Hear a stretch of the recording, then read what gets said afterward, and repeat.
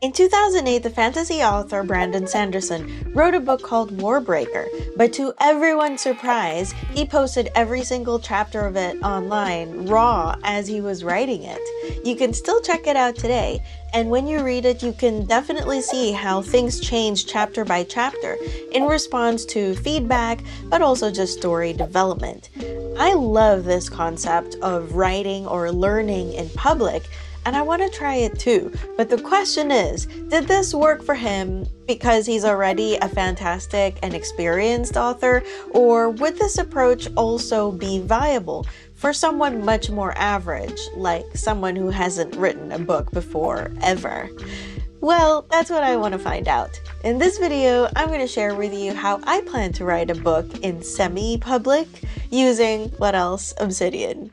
Here's my idea. I already have a system in place for using Obsidian to take my notes and build upon them and watch structures emerge and somehow narrow those things down into a coherent short form piece of content, like a video or a presentation or a blog post.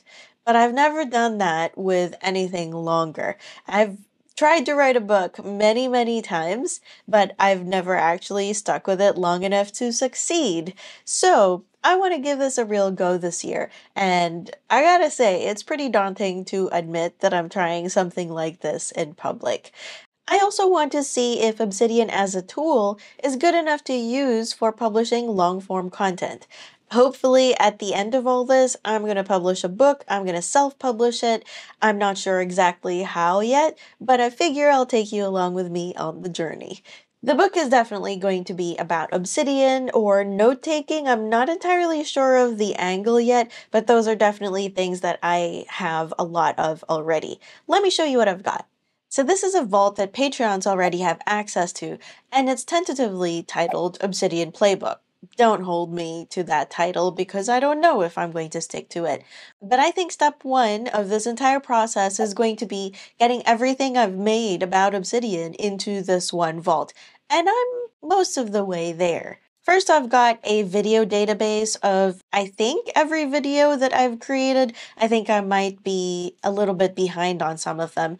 I'm using some data view front matter already just so I can search for them later. I'm not actually sure if I'm going to do that, but I'm just trying to anticipate what I'm going to need. So I have the video embedded here and some timestamps as well. Now this is going to be a problem because I have a lot of videos and I haven't really put in a lot of actual text. So Obsidian doesn't do great with text, and so perhaps that's something that I need to start with. So I also have this video database note where I have links to everything, and I do also have a data view query here. I'm not sure if I'm going to use it yet, but at least I can see what is out there.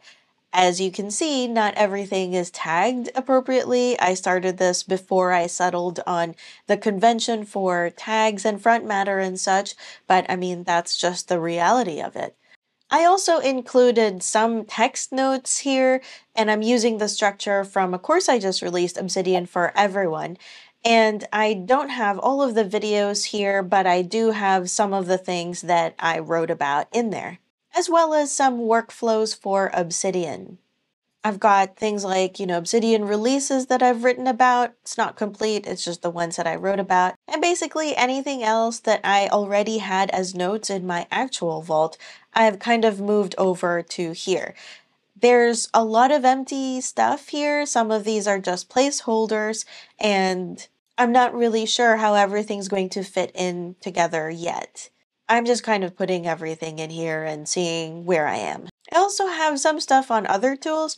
I'm not entirely sure how far I'm going to go into other tools, but I did already have some notes, so I might as well put them here.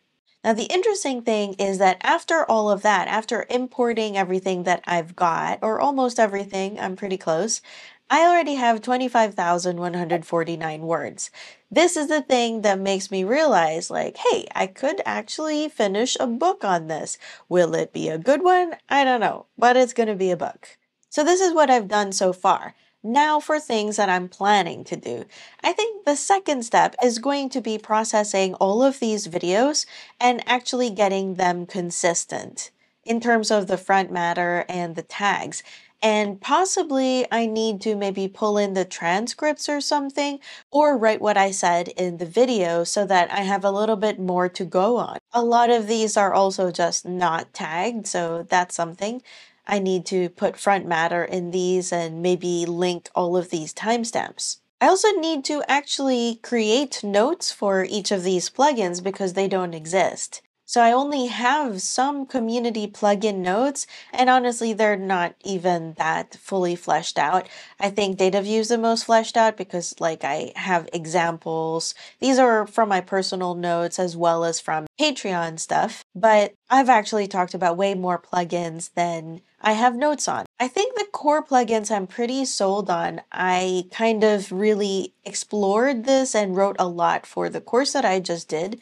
I'm not including the videos here, but hey, at least I have screenshots and that. So I just need to cross-reference these videos, have text to cross-reference to the actual plugins. And also because my stuff is so video and screenshot intensive, I mean, this is a tutorial kind of thing, so those things normally are very media intensive. I'm also exploring what it might look like if a book that I write isn't actually a book. Like, what if it's not actually a physical book? What if it's more of an interactive experience? Maybe, is it possible that I just publish something using Obsidian Publish and leave it at that? I'm not really sure what I'm going to do with it. I'm not even thinking of the commercial side, but just the idea of exploring a different form of publishing is really exciting to me. The third thing that I want to do, I also want to install plugins like Excalibrain because I think I'm going to need to be able to look strategically at the entire structure.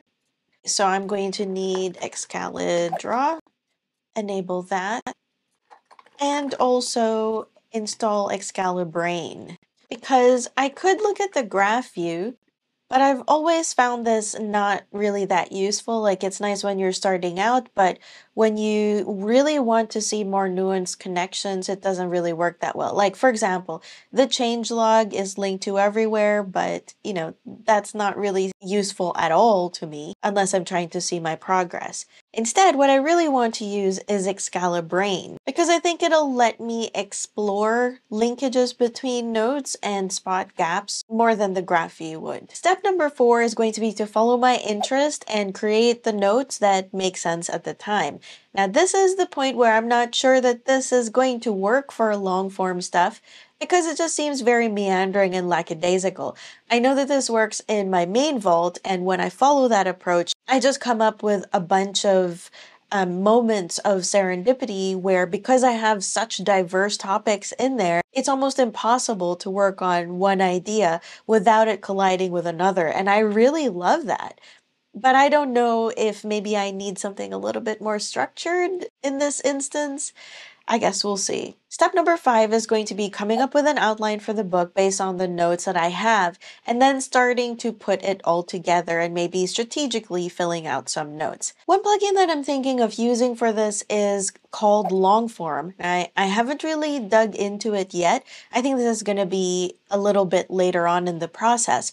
But the plugin long form is supposed to be really good at writing like novels or I guess longer screenplays or something where there are specific scenes. For the moment though, I'm thinking of using a plugin called Incremental Writing. Now, I have used this plugin before and I really love the idea of it, which is that instead of writing something from start to finish, it might be easier to write a little bit at a time on many different notes and then just trying to increase the entire body of knowledge.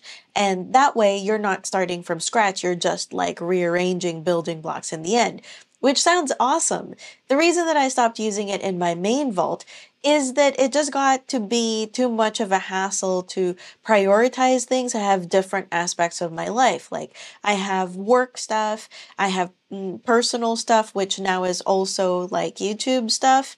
And then it became to be too much to think about like which one is more important to me right now, you know, something for YouTube or something for my personal life, like things like that, that I didn't feel like making a decision on all the time.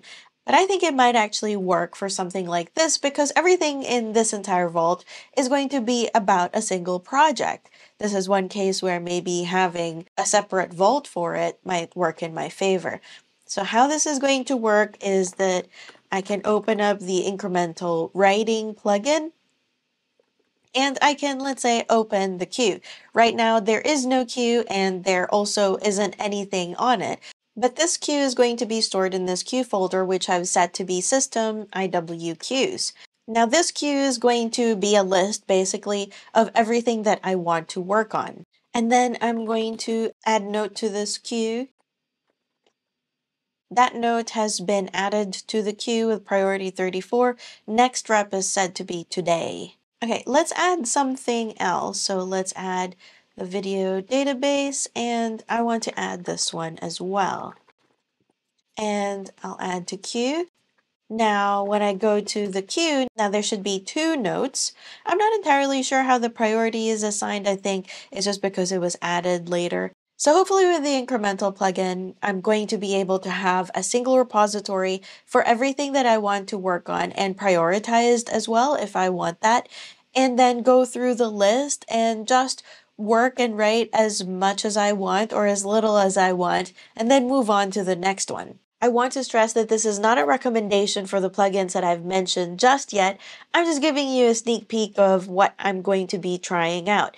As an example, I was already thinking while I was recording this video that the spaced repetition plugin, while geared primarily towards flashcards, can also actually have some sort of an incremental writing like experience if you use it to remind you of notes rather than of questions or answers. So that's something that I'd also like to investigate. So how good is Obsidian at writing long form content?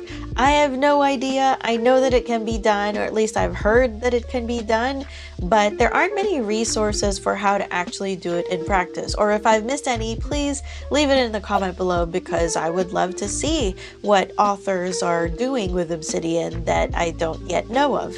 I'm also wondering this is a good time to explore alternative formats to the traditional book. Like, could you have a book that is more of a choose your own adventure? And would that be more interesting than something that has an enforced order of reading from A to Z? I don't know. I'm hoping to find that out, and I'll keep you updated as I go. Thank you for watching. À la semaine prochaine.